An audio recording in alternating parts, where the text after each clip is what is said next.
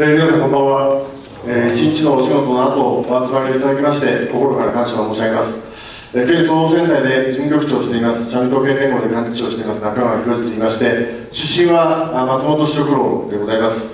今からあ11年ほど前2007年の参議院選挙に、えー、私も出ました。負けましたけれども、その時の選挙では、第一次安倍政権が、今もお話ありましたように、教育基本法を変えた。どういうふうに変えたかといえば、国と郷土を愛する心を育むという言葉を教育基本法の中に入れ込んだ。防衛防衛省を防衛庁に格上げした、あ失礼しました、防衛庁を防衛省に格上げする。国民投票法を作る、まあ、こういったことをやったもんですから、国民から批判を送って、安倍総理大臣はその参議院選挙では負けました。負けて1か月後に腹が痛くなって総理大臣を辞任をした。なんとか今度の参議院選挙も腹が痛くなって総理大臣を辞めるそこに追い込みたいというふうに我々は思ってます。ただその時の選挙と今回の選挙の情勢はだいぶ違います。自民党の支持率安倍政権の支持率が落ちない落ちません。なんでだろうかというふうに思います。巷では安倍政権の方がよっぽど安心だ。自民党の方が安全だ。こういう話があります。本当にそうなのかということを少しだけお話ししたいと思います。今日お手元に憲法と暮らしというこういう、えー、A4 裏表のチラシを入れさせてもらいました。今度の参議院選挙で自民与党が3分の2を取れば憲法改正に必ず手をつけてきます。そして自民党はすでに憲法改正草案を作っています。その中身はこれまでの日本国憲法と180度違ったものになります。国家が憲法を使って国民を縛るというのが自民党が描いているこの国の社会なんです。嘘だろうって思うかもしれません。でも自民党の憲法改正草案は国家がこれまでの憲法は国家の暴走によって戦争が起きたので国民が憲法を使って国家が暴走しないように定めてある。権力者が守るためのものが憲法だというのが立憲主義の考え方でした。しかし自民党が考えているこの国のこれからの姿というのは全く違います。国家が憲法によって国民を縛るものです。具体的に前文で国民にこの国を守る義務を書いています。基本的な人権人は人として当たり前に生きていくことができる。人は違っていても人は人として当たり前に生きていける。そのことが認められている憲法から公の秩序や公益に基づいて基本的人権というのは守られるんだよ。じゃあその公益だとか公の秩序って誰が決めるんですか？安倍晋三が決めた公の秩序であり公益なんです。現に現に報道の自由というものが今回出馬している杉尾秀哉さんをはじめ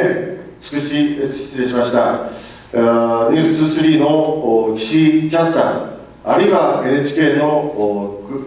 国谷さんでしたっけ、えー、などがですね降板をさせられているように基準は安倍晋三なんです。基準が安倍晋三で公の秩序と公益が作られている。それを守らない限り基本的人権は皆さんには保障しないこういう法律です。憲法です。えそして一番私たちがこの憲法の中で大事にしてきたあの第二次世界大戦絶対もうやらない戦争はしないと決めた。しかしそのことが葬り去られて憲法9条の1項はそのまま残りますけれども2項以降で国防軍を作るこのように書かれているわけです。国防軍です。軍隊です。だからこれは今回の集団的自衛権の行使が限定的なものであるわけですけれどもこれがフルスペック全面解禁されて日本が独自の判断で戦争に参加することができるということになります参加できるならいいです。戦争をすることができる憲法に変わるんです。これが自民党が考えている社会なんです。自民党が今考えているこれからの日本の社会像なんです。本当にそこへ持っていっていいのかということが問われています3分の2取ったからすぐ憲法改正すぐそこには来ませんまずは緊急事態条項をやってきます須坂市議会や長野市議会で通ったかどうか知りませんけれども、緊急事態基本法の制定のための請願というのが、2012年からずっとこの長野県内全国で出されてきています。今年も伊那市でも通ってしまいました。えー、岡山市議会でも通過してしまいました。長野県議会は2012年に自民党などの多数で通ってしまっています。この緊急事態条項を憲法の中に制定する。緊急事態条項というのは、もし他国から攻めてきたとき、東日本大震災があったようなとき、その時には緊急事態宣言を内閣が発生し発宣言をしてそして国会の機能を停止して内閣が法律の代わりに政令で何でも決めることができる。そして国民の基本的人権を制約して緊急事態命令を国民はそれを聞く義務がある。こういう中になっている。まずこれを通そう通す。そしてその次には国会の発議要件の3分の2を2分の1にする。ここまで来ればもう憲法9条を変えるのはもう目の前です。これは嘘ではありません。本当のことです。ぜひ自民党が考えている国家像本当に今回自民党を選んでいいのかあるいは投票に行っても政治は変わらないから投票に行かないという人たちに今回投票に行かなかったら行かないことが実は安倍政権を支持することになってしまう。自民党が描く国家像を私たち自身がそういう選挙に行かないことが選んでしまうことになってしまうということをぜひ残りの9日間